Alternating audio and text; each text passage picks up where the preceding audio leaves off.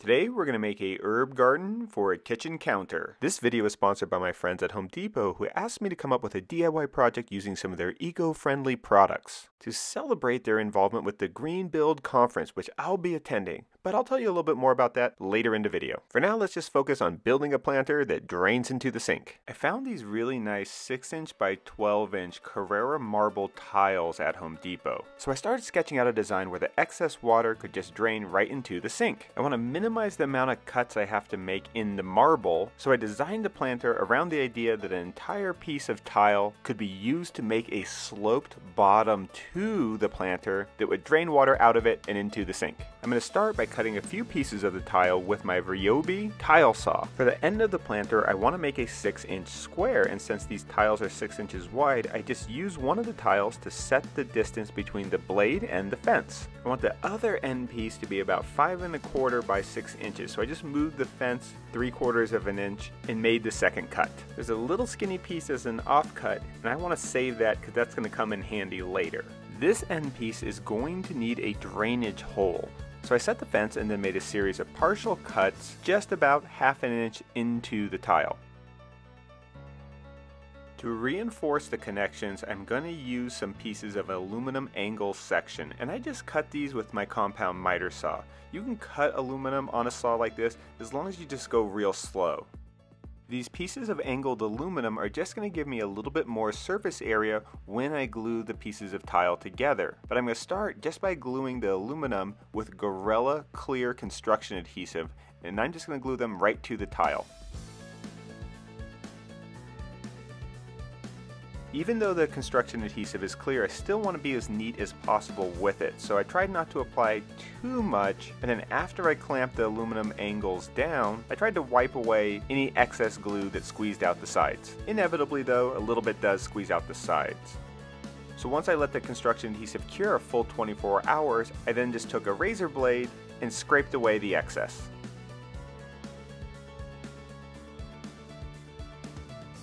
I used some thin pieces of wood to set the bottom of the planter at a slight angle that will allow the water to drain and then just check to make sure all the pieces are going to fit the way I wanted them to. Alright, looks good, time to glue up the box. I used extra long spring clamps to hold the pieces in place while the construction adhesive cures. Now that the basic box has been assembled, I've removed the clamps, and then took that little scrap piece that was left over and glued that in to fill in the one little gap in the bottom. I used a chopstick to spread the adhesive around and start sealing in the inside corners.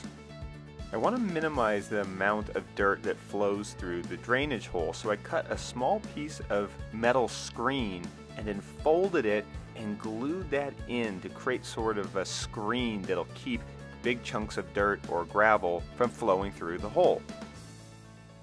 I did have a little bit of squeeze out here too, and the spring clamp left some marks on the marble, so I just scraped those away. The inside of the box was mostly sealed just from the construction adhesive, but I really don't want any leaks out the side to mess up the counters. So I just went in with some silicone and really made sure to get every single gap and crack. As much as possible, I want to direct the way the water drips off of this protruding ledge, so I use my Ryobi rotary tool with a diamond bit just to carve some little grooves into the soft Carrara marble. The tile is pretty glossy, and I prefer more of a matte or satin finish, so I just used some 220 grit sanding pads on my orbital sander and just cleaned up all the glued up edges and sanded down the broad surfaces as well just to give it a little bit more of that soft matte finish. Marble like this is relatively soft for a stone, and one of my corners was just a little bit uneven, but I was just able to use the orbital sander and kind of round that all over and disguise it. I'm going to fill the planters with a combination of all-purpose gravel from Quikrete and some Nature's Care organic garden soil. I placed about an inch of gravel in the bottom of the planter. This way I have a drainage bed that covers up the screen, which will help keep the soil from flowing out when I overwater. Now, the impetus for this project was to celebrate Home Depot's involvement with the Greenbuild Conference in Atlanta. Home Depot sending me and Mike from Modern Builds and a few other of our maker friends to Greenbuild to check out all the new cool materials and technology that are happening in the world of sustainable design and construction. Now, Home Depot isn't just sponsoring Greenbuild, they've actually been involved with sustainability initiatives for quite some time. Home Depot's biggest environmental impact is the products that they sell, and they're working with their suppliers to address global environmental concerns in products including carbon emissions, water scarcity, air quality, waste, and more. They've also set a science-based target of a 50% energy reduction by 2035, and this will come by a continually improving energy efficiency in their operations, while also expanding into investments in renewable and alternative energy. Probably most important to us consumers is the wide selection of ecologically conscious products like these organic potted herbs, or this really nice stainless steel watering can which won't rust, doesn't have any added paint, and is not at all plastic. So shout out to Home Depot for making an effort with these important initiatives and for sponsoring this project. Now speaking of the project, I was ready to test it out and see if the water was going to go where I wanted it to, and uh, not quite.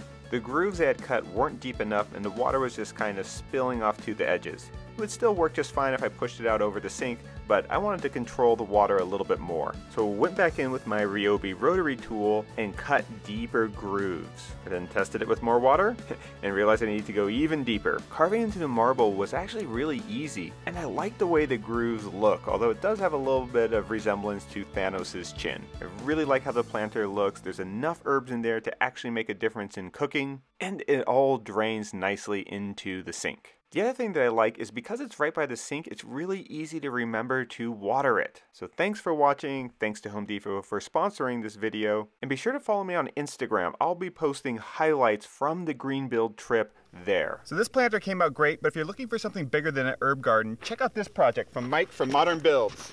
That's right. Woo! I built indestructible raised planters. Why are they indestructible? Well, I used composite decking so that the wood never rots, and I used aluminum legs so that the legs never rust. So check it out. Links are in the description. Check out some of our other videos, and don't forget to subscribe to this channel if you haven't already. Thanks!